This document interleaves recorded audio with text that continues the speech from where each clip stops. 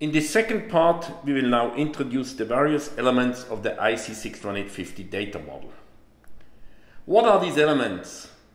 Some of the terms like logical devices, logical nodes, data objects, or data attributes you certainly have already heard about. But other terms are as well common data class and constructed attribute class. But what do they represent? First of all, they are elements in a hierarchical data model that we find within a 61850 server of an IED. The top level is the logical device. A logical device is a collection of multiple logical nodes. The logical nodes contain data objects. And finally, the structure of a data object is defined by the common data class. In the example, INS is a common data class for integer status information. The common data class defines what data attributes are available for a data object. The data attributes are the leaves of the hierarchy. It is at the data attributes where we find the values. However, data attributes can as well have a structure as a data type. In that case, we have what we call a constructed attribute class shown here with the example quality. Now that we have introduced these elements of the data model, I will explain for what they are used. Let's start with a closer look to the logical node. Logical nodes are the key elements for modeling application functions.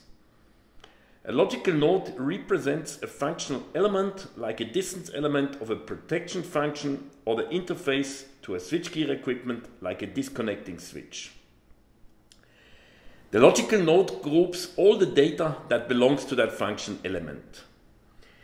In our slide, we see an extract of the logical node XSWI that represents the interface to an electrical switch other than a circuit breaker. We have a first group of data objects defined here with the light blue background, which is, as an example, the data object POS, which represents the position of the switch, or a data object block opening, which represents that the block opening currently is blocked. What we see as well is the indication M mandatory or O for optional whether the particular data object needs to be present or not. The second group of data objects that we see in this example, which is the light gray background, are, lot, are data objects that are more used to control the behavior of a logical node and less for the specific semantic based on the logical node type. Next, we introduce the data object and the data attributes. We use the example of the data object POS, which represents the position of the switch from the previous logical node XSWI. This data object is of the common data class double point control. A data object has multiple data attributes. The structure of the data object or with other words, what data attributes are available is determined by the common data class. We have a first group of data attributes representing the status information. Among them, we have STVAL, where we find the value of the position of the switch, which typically will be either open or closed, but can as well be in an intermediate or bad state. Then we have Q for the quality, indicating among other if the information is valid, and finally, T for the timestamp of the last change of the position value. These three attributes are the typical operational information of the switch position. But with the IEC61850 data model, we attach as well non-operational information, for example configuration information, to the same data object. Here we have a few examples like the possibility to describe the control behavior of the switch or the operate timeout. Further, we may have information related to substitution. Substitution will be described later.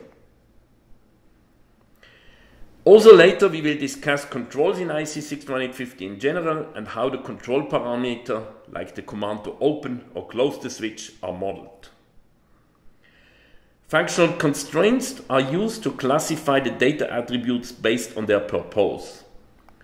In the example shown, the function constraint st identifies the status attributes, cf the configuration attributes, or sv the attributes related to substitution. What we see as well in the example is that the data attributes may be of a basic type, like the upper timeout, which is a 32-bit unsigned integer, or they may be further structures like the timestamp. This is shown in the next slide. A data attribute may have in principle an unlimited number of hierarchical structure levels. We have here an example where we have a constructed attribute class of a type vector, which can be a type from a data attribute, in that case cval. This is a composite component where we will find two elements beyond, like magnitude and angle, which is again of a type analog value, which is again a constructed attribute class.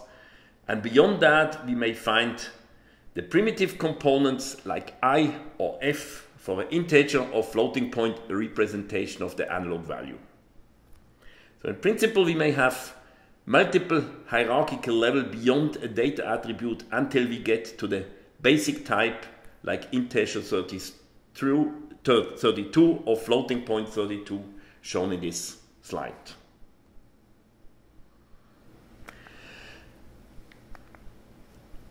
At the top level of our data model, we find the logical device. This is the top of the hierarchical structure of the model. A logical device is basically a collection of logical nodes. The standard does not define logical devices. They are typically defined by the IED manufacturer when he creates the model for his device. A typical usage of logical devices is to group logical nodes for protection functions, for control functions, and for measurements. Logical devices are relevant for the naming hierarchy or for the management of the device, device behavior, like putting the whole device in a test mode or the activation of a function. So far we have now seen the elements of the data model. Now let's have a look where they are defined in the various parts of the 61850 standard. What we see here is an overview on where we find what about the data model in 61850. At the top level we have the definition of logical node classes, which with for each of them a class name, the semantic description of the logical node, and a detailed definition of the structure in terms of data objects with the names. We also have a detailed semantic descriptions and type indication of the data objects.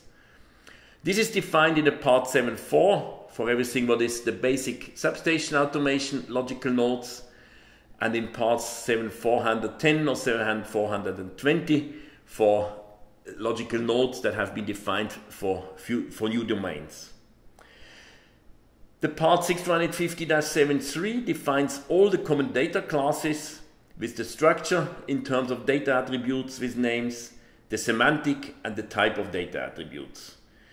We also define in part 73 constructed attribute classes with the structures in terms of subdata attribute with names as well as the semantic and type of subdata attributes. And finally, in the part 61850-72, we will find the specification of the basic types and of common ACSI types. Let's start now to have a closer look how these definitions and specifications are presented in the various standards documents. We start again at the top level with the logical nodes that are defined in part 7.4. For an easier handling, logical nodes are grouped based on their functionality. A logical node class name is always standardized and has four characters. The first character is reserved for the group indication. In this slide, we see the logical node groups that have been introduced by edition 1 of IEC 61857.4. The number indicates the number of logical node classes defined for that group. I will also provide a few examples here.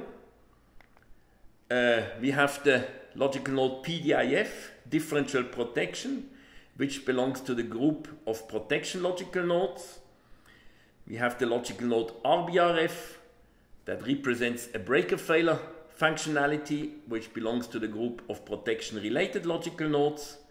The XCBR circuit breaker belongs to the group switchgear. The CSWI switch controller belongs to the group control. MMXU, a measurement unit that represents basically calculated values, RMS values for voltage and currents, belongs to the group M, metering and measurement or YPTR power transformer, which belongs to the group of power transformers. With addition 2 of IEC 61857.4 and with the part 7410 for hydro and 7420 for distributed energy resources, we have today more than 200 logical nodes standardized. In the standard, the specification of a logical node consists of two parts. A textual description of the semantic that may as well include some modeling hints and a table that defines the structure of the logical node. This slide here shows an example for the textual description of the logical node XCBR from edition 2 of IEC 61850-74. And the next slide shows the table that specifies the structure of that same logical node. So what we find here is the name of the data object, the reference to the common data class, a short explanation, and the indication if the data object is mandatory or optional. Finally, for each of the data objects specified, the standard provides, in addition to the short explanation that we already have seen in the table of the logical node definition, a detailed semantic description with all the information needed to understand the data object. As shown here, if the value of the data object is of a type enumeration, that description includes as well an explanation of the various values. So basically, if the value of the data object circuit breaker operating capability has the value 2, that means we can still do one open. If it has the value 3, that means we can do a close and an open again.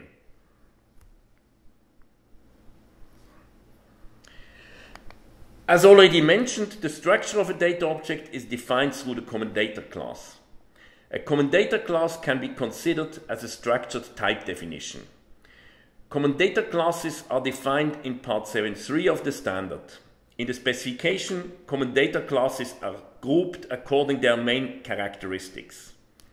The groups are shown here with a few examples. Again, the number shows the number of common data classes that belong to that group that exists today in the standard.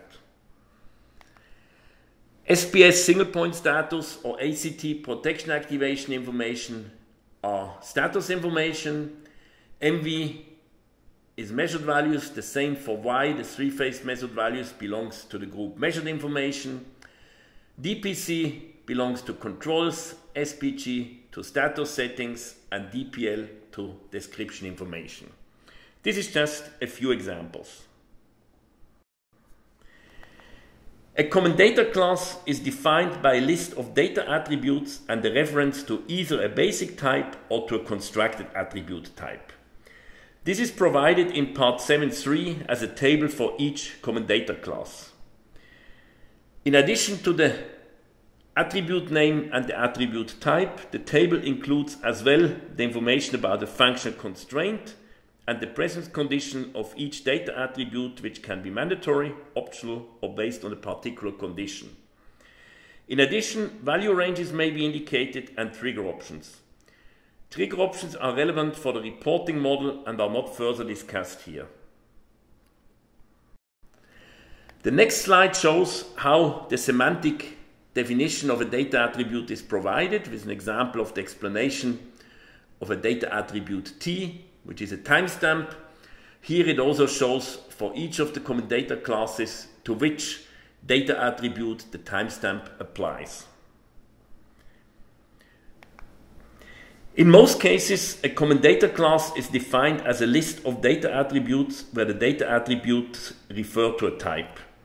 There are, however, a few examples where the elements listed as part of the common data class are again data objects referring to another common data class.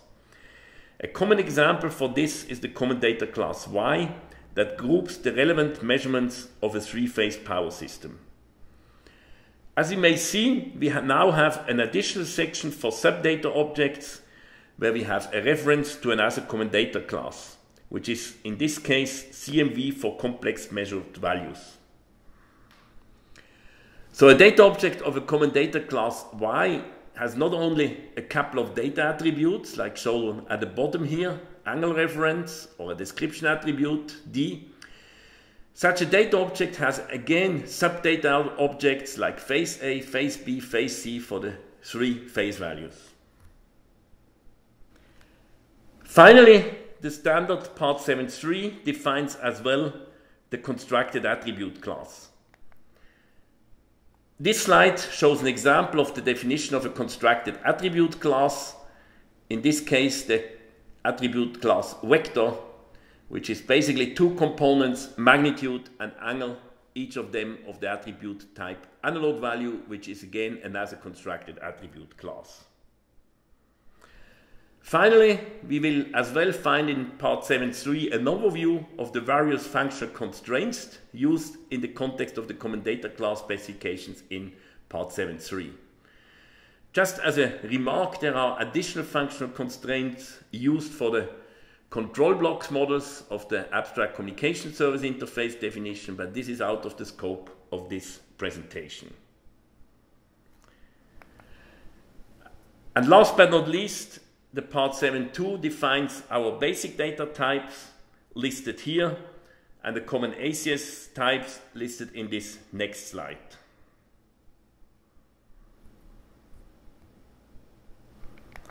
So to summarize this part of the tutorial, the information available within an IED is exposed as an IEC61850 data model. This data model is hierarchical and consists of logical devices, logical nodes, data objects, and data attributes. Logical nodes with their data objects are defined in part 7.4. The data objects refer to common data classes as a structured type. The common data classes are defined in part 7.3. A common data class is a collection of data attributes data attributes are either of a basic type defined in part 7.2 or of a constructed attribute class. In the next part, we will now step by step explain how you can create a data model of a device.